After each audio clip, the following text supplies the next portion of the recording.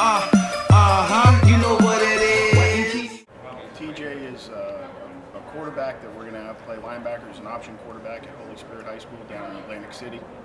Uh, we're real excited about him. He's a big, thick kid, uh, about 5'11", 6 foot, about 220 pounds. He's a 400 pound bench guy, so uh, he's real physical running with the ball, and, and we're excited to have him.